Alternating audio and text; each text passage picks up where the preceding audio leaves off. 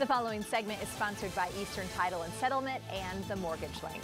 Rent or buy, it is a big decision, particularly for young professionals as they launch their careers and begin shaping their long term financial plan. Well, joining us today to share their expertise, we have Luke Fleck from Eastern Title and Settlement, Coby Smith from Chateau Seekers of Keller Williams Capital Properties, along with Kevin Russell from the Mortgage Link, who also just happens to have our deal of the day. What's our deal today, Kevin? Yep, uh, today we have a home ready conventional 30 year fixed uh, mortgage with a 5.875% interest rate. Uh, that's actually with Ooh. no points.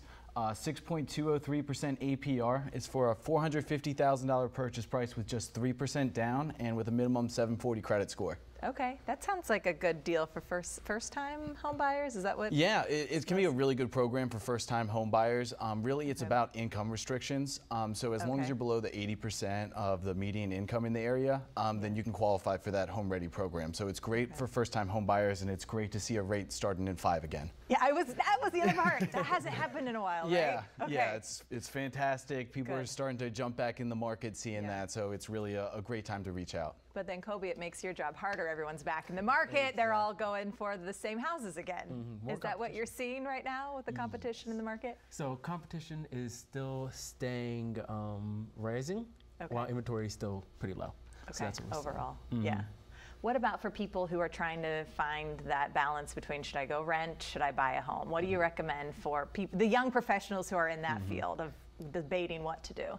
So going from renting to owning is a big step. Mm-hmm. And the young professionals that are able to make it are focused on their finances. They're making sure that their credit score is at least 620, their debt to income ratio is below 36%, and they're saving for a substantial down payment.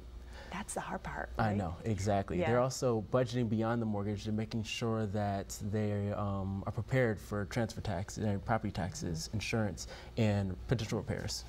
Yeah, mm-hmm. I, there's a lot that goes into it, a lot to think about. Are people usually prepared at that age? Do you recommend that so, they go ahead and buy?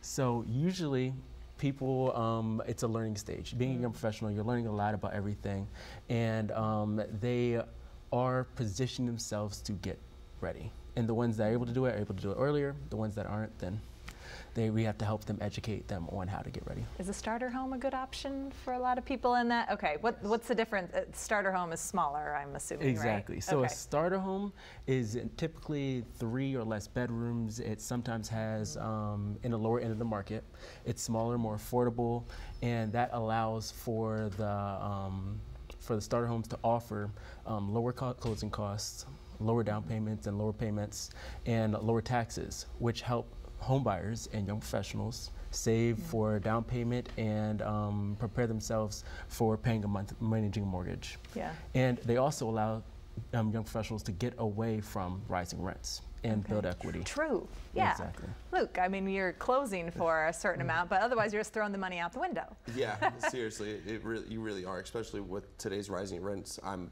personally feeling it myself. I'm one of those young professionals Coby's talking about who's making the preparations, trying to get into yeah. the market and trying to start saving to make that big down payment. And those rising rents are killer. And that's what all the young home buyers who are coming into my settlement tables are saying. They're just so happy to finally be on a mortgage. So how do you do this? So you're still renting, but you're also trying to save yeah, at the same I, time? I'm lucky. I rent from a mom. So okay, I'm, I'm, I'm, paying my mom's mortgage. I, okay. I, am in a very comfortable position, and yeah. not everyone's like that. So you know, the education, finding a good team to work with, and starting now than later is always the right. best recommendation. That's mm-hmm. tough, Kevin, because when you're just starting, you're probably just starting to collect some money in your bank account, and now you're like, I think about buying a home.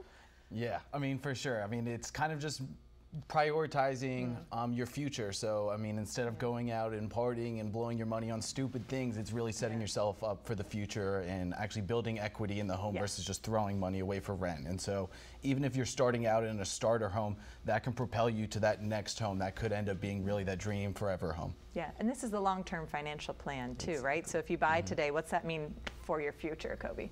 So if you're buying today, pretty much you're building equity in your home. You're benefiting from appreciation, like DC. DMV area gets a lot of appreciation. Right. So you're building wealth long term. Mm-hmm. So you want to make those hard choices today are going to pay off. Exactly. Yeah, Absolutely. down the road. Mm-hmm. Okay, great. Thank you all. Good luck on your journey. I didn't know you were in that spot. um, I know that we have a big conversation that's coming up just about this. We're going to have a more in-depth conversation with the mm-hmm. professionals. You can scan the QR code with your phone's camera to get tickets to a Sip and Invest real estate seminar and wine tasting event. You couldn't have made this more enjoyable to talk about real estate, guys.